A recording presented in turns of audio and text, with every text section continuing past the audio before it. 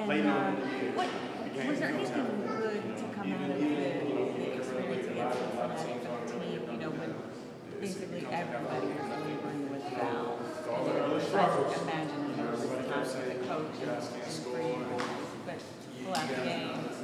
What does that say about the team? We all we all knew just coming into the game was gonna be intense.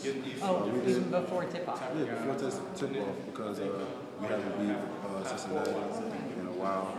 Uh, they're a real physical team. They was like I think they were number one rebounding team in the Yeah, Big And that's seventh something- Yeah, so we had to come in, work hard. Uh, it was real intense. Nobody really knew that the foul trouble would be like it was, but that's just something you have to play through in basketball. So that was just like the cost of doing business against them. I mean, Yeah. you guys had to be physical. We had to be physical. A lot of calls didn't go our way, but that's basketball.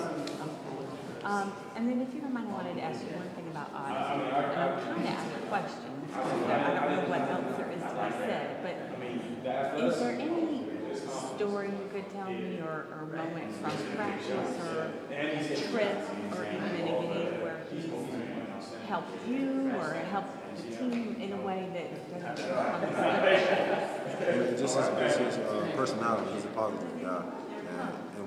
And, and when he, he notices that somebody's down on himself, he always keeps them up. Tell him to keep playing, work through it.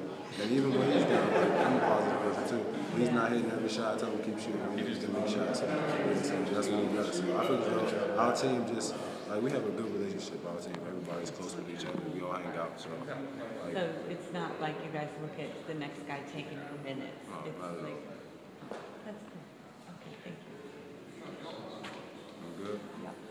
Okay. Okay, what's your, we were just asking Markel, what's your uh, thoughts about Oladipo, how he's been playing? I mean, we're excited to see what he's doing Yeah. on the national level. Uh, I always knew he was a good player. Yeah. I didn't know he was on board like this. And That's what athleticism could do for you. Right. And hard work. Yeah, He's putting hard a work. lot of work.